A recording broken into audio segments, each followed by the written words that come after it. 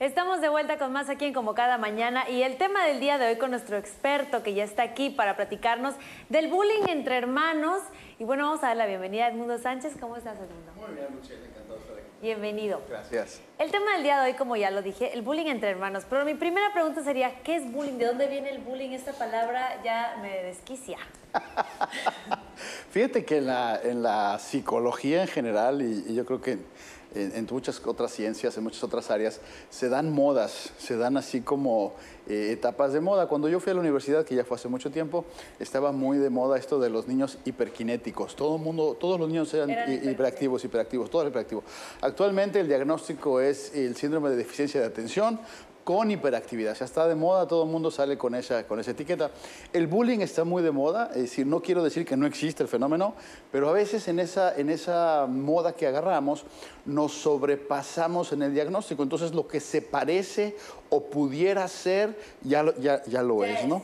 Y la palabra viene del inglés bullying, a falta de una mejor traducción, o sea, no se puede traducir, y viene su origen de bull, B-U-L-L, que sería como el, el- el que se te viene el toro encima, ¿no?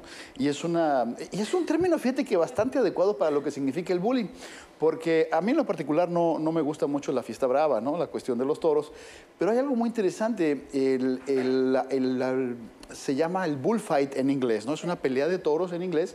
¿Tú sabes quién lleva las de ganar? ¿Quién? El toro. ¿Cómo? Pero El toro. No entiendo. Si hay dos El- toros peleando el toro. No, no, no, no, el torero, Ah, no te entendí. el bien. torero, Sí. en el toreo, el toreo, el, el torero en la, en- en la arena con el toro, que van, es una lucha a muerte, digamos. ¿Sabes quién lleva las de ganar? El toro. El toro. El toro es más probable que gane. Obviamente, pues es- está jugando la vida el torero. ¿Por qué te digo esto? Porque para que se llame bullying, tiene que haber una desigualdad de poder. Si no, no es bullying. ¿No? Es decir, cuando, cuando el que está siendo agredido no tiene la capacidad de defenderse, porque hay una, hay una, eh, una sobrecarga, digamos, de fuerza o de autoridad o de poder, entonces es bullying. Por eso el bullying entre hermanos sería... De la que no fueran de la misma edad. Que no fueran de la misma edad, por ejemplo. tamaño, O del mismo- mismo tamaño, exactamente. Entonces es cuando es bullying. Cuando no, pues es un juego entre hermanos, cuando se llevan un año de diferencia, cuando uno le jala la oreja al otro, el otro le, le pega una patada. Eso no se puede llamar bullying. Eso es una, una interacción entre hermanos que no es armónica, que no sea adecuada, es otra cosa, pero no se le puede llamar bullying.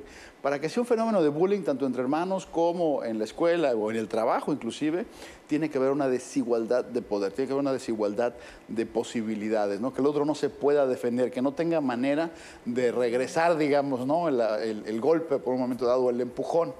Y obviamente de ahí viene ese término de bullying, porque obviamente el, el- el chico que es el, el que es el agresor, pues es un chico normalmente más grande, más pesado, que no le da posibilidad de defenderse al más pequeño. Entonces, como papás tenemos que estar al cuidado de que nuestros hijos, eh, si si existe una diferencia de, de- de autoridad, de poder o de peso o de edad, ser cuidadoso que en ese sentido los podamos defender. Pero si no, no. ¿no? Porque entonces generamos... ¿Cómo se trata? Si no generamos inútiles, o sea, si, la, si- si la- la pelea o la discusión es por una cuestión de derecho, de principio, de que el- se llevó mi CD sin mi permiso, o que rompió tal cosa, déjalos que se arreglen, o sea, que discutan hasta que lleguen a un acuerdo.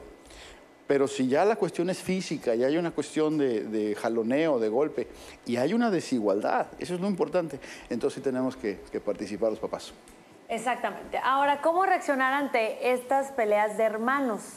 ¿Qué- ¿Qué tienen que hacer los papás? A, a mí me tocó, en mi experiencia, que a veces mi hermana era tan llorona que la defendían mucho más Claro, a ella que a mí. claro.